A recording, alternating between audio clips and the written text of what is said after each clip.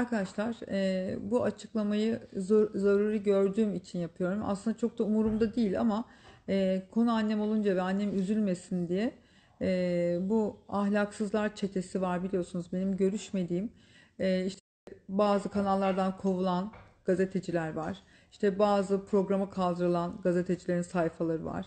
Bunlar gazeteci de değil de zaten magazin sayfası yapıyorlar da baştan aşağı Anca işte bunları yapabilecek hale girdikleri için bir televizyonda ve gazetede iş bulamıyorlar artık. O yüzden de böyle yalan, e, çirkin haberler yapıyorlar.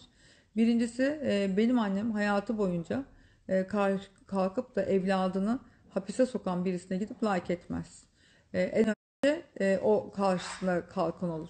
Kadıncağıza linkler gönderiyorlar. İşte e, o sayfada sizinle alakalı yorum var diye veya kızınızı taklit ediyor diye. O da linke basıyor, o sayfa açılıyor. Bilmediği için de bilmeden belki dokunup like etmiş olabilir. E, ben annemi e, yaklaşık iki ay önce engelledim. Neden engelledim biliyor musunuz? E, kadıncağız benim hakkımda e, yorumlar yapıyorlar. E, annemi etiketliyorlar benim sayfamda. O da görünce çok üzülüyor ve onlara cevap veriyor. Anne işte tutamıyor kendisini.